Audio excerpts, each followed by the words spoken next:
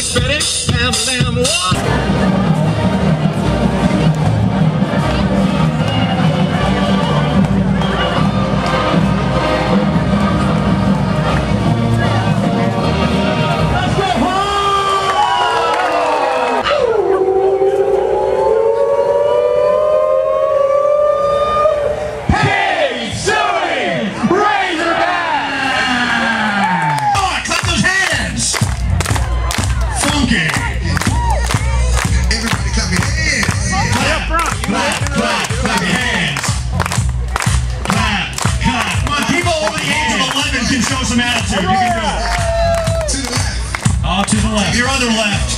Come on, Hank. Leave your post. Just follow along. The egg. Yeah, egg. Go. Egg, egg, egg, egg, egg, egg, egg. Here we go, here we go, here we go. Egg, egg. Come on. Over easy. Scramble. Over easy.